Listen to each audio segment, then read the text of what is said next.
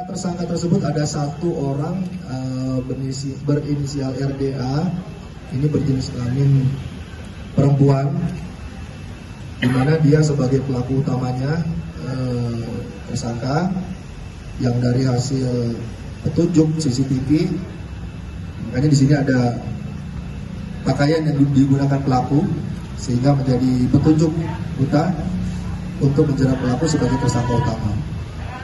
Berarti dia yang mencuri yang melakukan ya, ya, yang melakukan eh, membujuk korban untuk meminjamkan sepeda motornya, Nah, sehingga setelah beberapa lama ditunggu tidak pulang ba- baru tersadar bahwa dia telah jadi korban penipuan.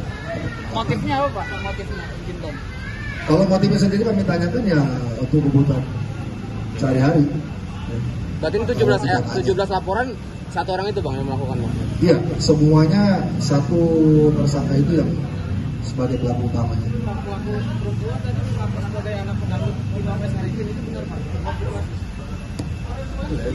Ya kalau itu betul ya. Jadi eh, putri dari almarhum ya. Dangdut Imam S. Arifin ya. Yang dua orang lagi ini penada atau apa Bang?